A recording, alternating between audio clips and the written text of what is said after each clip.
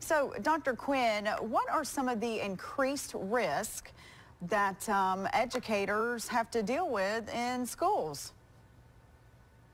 I mean, Jade, it's like I had a patient earlier this week and she was so upset.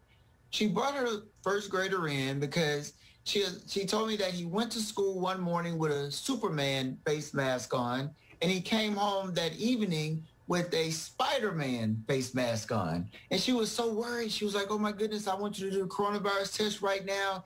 The, the problem is the research is showing that children are much less compliant with these healthcare recommendations, such as wearing your face mask, maybe not switching your Superman face mask for a Spider-Man. so the, the, children are not as compliant as adults because they don't understand. They, they, they're less likely to social distance and are coming from multiple households. And our educators, our uh, people in the schools, they're exposed to children for prolonged periods of time and they're not getting the vaccinations because it's not yet approved for children under 16 that's why it's so vital that our educators and their support, such as the bus drivers, the cafeteria workers, are, are allowed to get these vaccines. And now it's been determined that they are now prioritized where they can now get the vaccinations. And this is really important. So do many children serve as carriers and what does that exactly mean for the educators and the staff?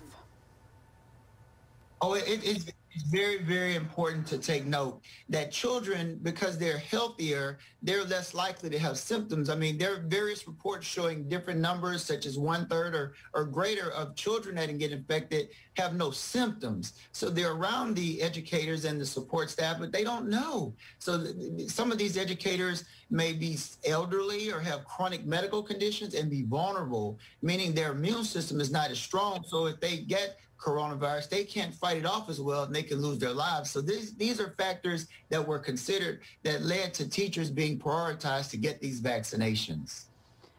So we always want to know how people are doing once they get the, the vaccine. What have your patients told you about their experience? Maybe if they're teachers and how are they dealing with this if they have to go out and teach during this pandemic? they are very excited and very, very, very thankful because the bottom line is they want to get these vaccines. They're getting them. And also note, a lot of the reports are showing a disparity between low income households and high income households that have the support to, uh, so, to take care of the virtual learning. So it's so important we get these vaccines, get our teachers back in the classrooms and get back on track. All right, Dr. Quinn, thank you so much for, for talking with us. We always have plenty of COVID-19 questions to ask you about, so thank you once again, and we'll see you real soon. Thank you.